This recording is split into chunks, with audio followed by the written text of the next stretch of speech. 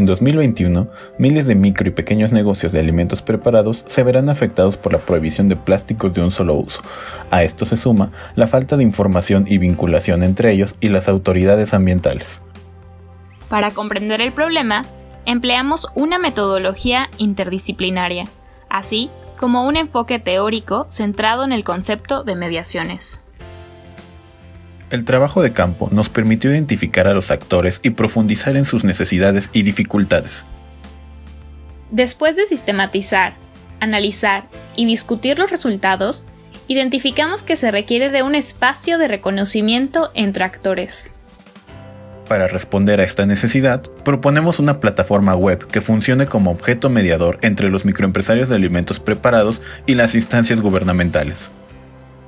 A través de esta plataforma web, será posible el intercambio de información relacionada con la prohibición, así como el conocimiento y reconocimiento de los actores involucrados.